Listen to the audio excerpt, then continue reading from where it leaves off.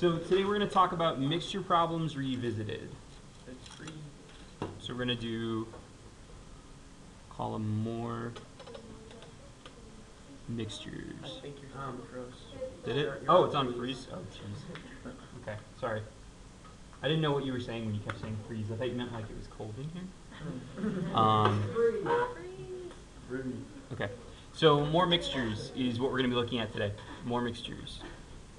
Uh, okay, so let's say that um,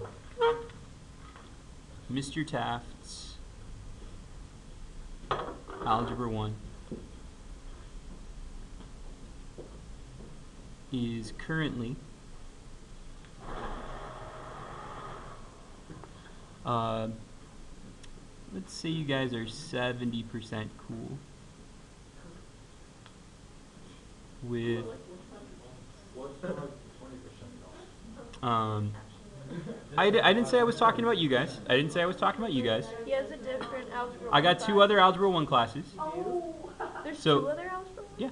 So I got let's say that let's say that un an unnamed and I've been teaching this for 10 years, so maybe I'm talking about a different year. So let's say that Mr. Taft's Algebra 1 class is currently well, this, maybe I'm talking past tense or was currently 70% cool with uh, 10 students. 10 students. Um, Oh yeah. and thirty percent sexy. Okay. He wants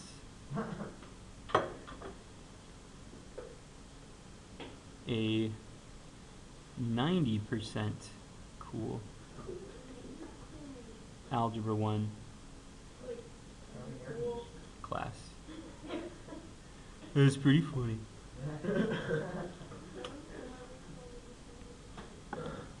Mm-hmm. how many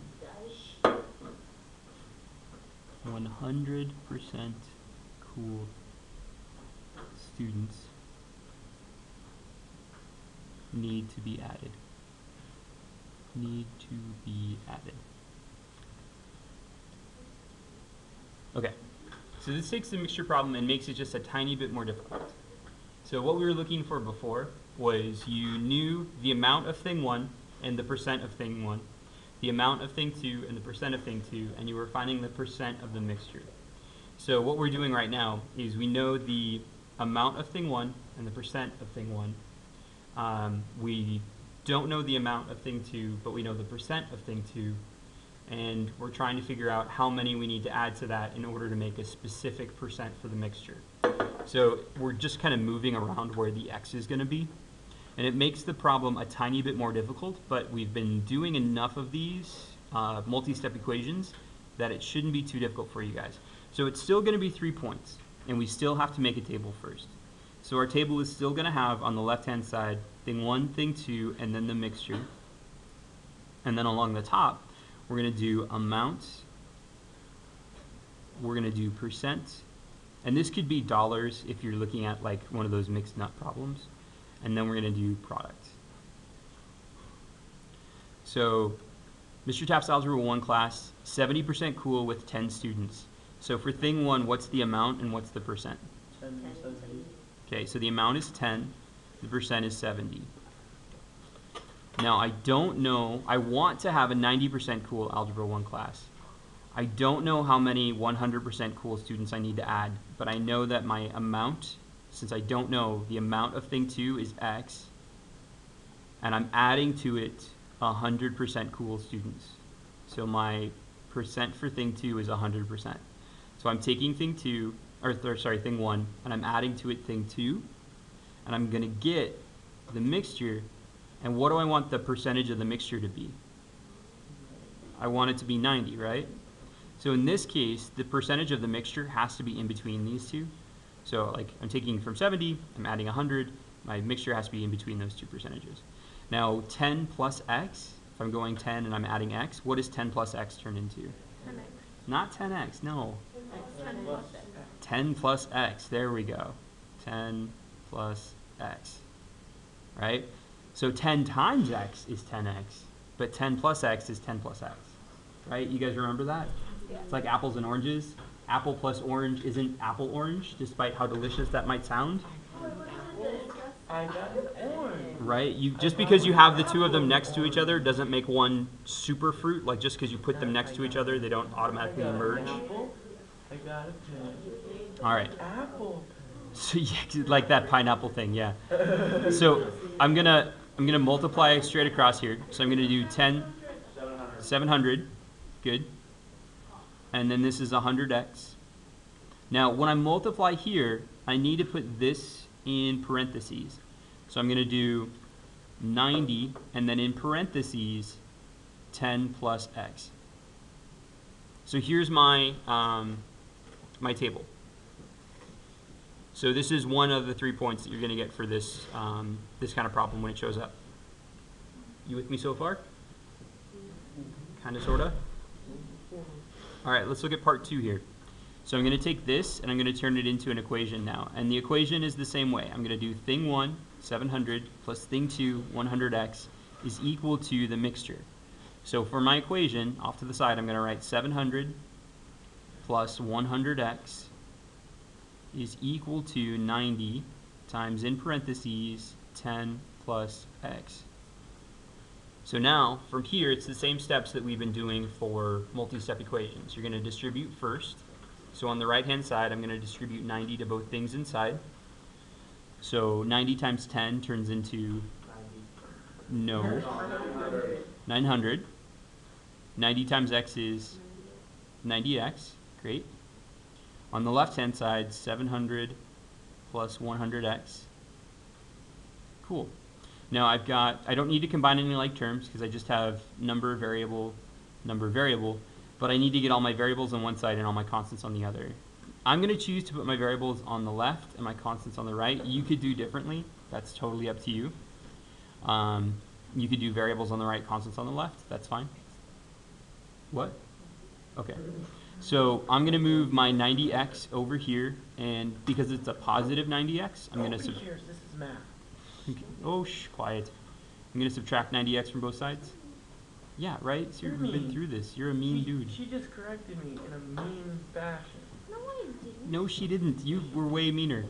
Well, two wrongs make a right. Like two negatives make a positive. No, they don't. Okay, Everything shh, quiet. So 700 minus 700 goes away. 100x minus 90x is 10x. Equal sign drops down. 900 minus 700 is 200. 90x minus 90x goes away. Now, to, to solve for x, what do I have to do now? Divide by 10, solve the one step, and so I get x is equal to 20. Now, because this is uh, this isn't a percentage, I'm not like this isn't 20%. This is a number of students I need to add because this is a word problem. It's 20 students. So, in order to make this Algebra 1 class 90% cool, I need to add 20 100% cool students to it. Then we'll have 30 students. Right. What? No, you could just write 20 students and that would be fine. But since it's a word problem, you do need to have like the um, the label, yeah. Okay. So let's take a look at um, the assignment, and we'll go from there. So here's some more examples. Um, y'all will be fine. Don't freak out. Y'all will be fine. You shouldn't. I'm tired too. It's Thursday though. It would have been better if it was Friday. Okay. It's yeah. But I don't even think my hand It's alright. smells like anything. I know the deal.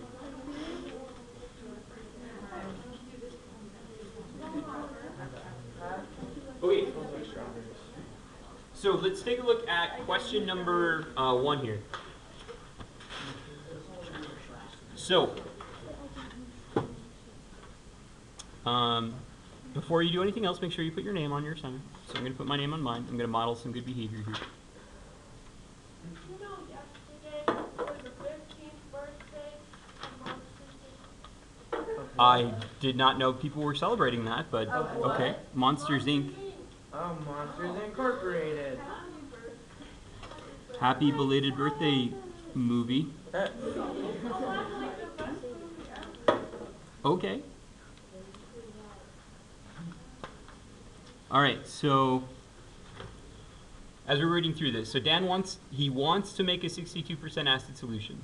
He's already poured four milliliters of 82% acid. So 62% isn't thing one. 62% is the mixture he wants to make. Um, or maybe it's a she. It could be a she. Oh no, it says he. Um, he has already poured four milliliters of 82%. So this is thing one down here. Four milliliters, 82%. So the amount of thing one is four, and the percent is 62. Um, how many milliliters of a 46%? So we don't know how many milliliters. We're going to call that X. 46. Did I make it? I did. Thank you, Andrea and Zach. Mr. Taft makes mistakes. I am an imperfect person, and I make at least 50 mistakes a day. whoa. So many mistakes. I'm Okay. I'm not. So, so what should I put for the amount of the mixture now? Thank you, Zach. 4 plus x. And I'm going to put this in parentheses here so that I remember to keep it in parentheses when I multiply it across for the last column. And oh my gosh, I have to do multiplication here. But wait! But wait! I remember the distributive property, so I can even do this in my head. What's 4 times 8? Okay, so 4 times 80 is 320. And then 4 times 2 is 8. So 4 times 82 is 328. Holy cow, I could do that in my head. Everybody can do that. Okay, and then what's 46 times x? 40, 46x. Great. And then 62, and then in parentheses, 4 plus x. So that's one out of three points for this problem. The second of three points comes from writing the equation. The equation is 328 plus 46x is equal to 62 times 4 plus x. I didn't give you a ton of room on this. I should have given you more room. My bad. So I'm going to distribute first. So 62 times 4, I'm going to use that good old distributive property again. 6 times 4 is 24. So 60 times 4 is 240. And then 2 times 4 is 8. So 240 plus 8 is 248. And then 62 times x is 62x. And over here I've got 328 plus 46x. Cool. So distribute, um, combine like terms, which I don't need to do, and constants to one side, variables to the other. So, any input on this, you guys, about what side you want constants on, what side you want variables on? Left variable, so Variables on the left? I'm just going with Michael because he was the one who's right next to me. If you guys want to put variables on the um, right, that's fine. Or sorry, left, that's fine. Um, so I'm going to minus 46x from both sides. And I'm going to minus 248 from both sides. So 8 minus 8 is 0. Going to borrow from the 3. 12 minus 4 is 8, so 80. This cancels. Uh, I'm going to drop down my equal sign. This cancels. And then 5. 12 minus 6 is 6. And then 16x. And then I have to divide both sides by 16. So x is equal to something. 16 goes into 85 times. So can I just leave it at 5? Or since it's a word problem, do I have to do something extra? Wait, Label it. five. Nice. 5 milliliters. So 5 milliliters. I'm even going to put a box around it. Kind of, sort of? Yes, no, maybe so? Maybe Absolutely. Okay. Um, wow. Okay, so you guys can work with somebody else if you want to. I made a deal with two specific students. If I work with, if I work with Riley, Did I ever tell you you were the best teacher ever? I didn't make a deal with you yesterday, and you and Riley get along. I ever tell you you were the best? I don't know where. I'm uh, no, I'm fanning these Panther Bucks because I made a deal with two specific students yesterday about these Panther. Bucks. You like, These Panther Bucks are spoken for, Cade. If I I know, I heard you. the best teacher No, I heard you. you should make It's it's object it's it's objectively not true, Cade. Yeah.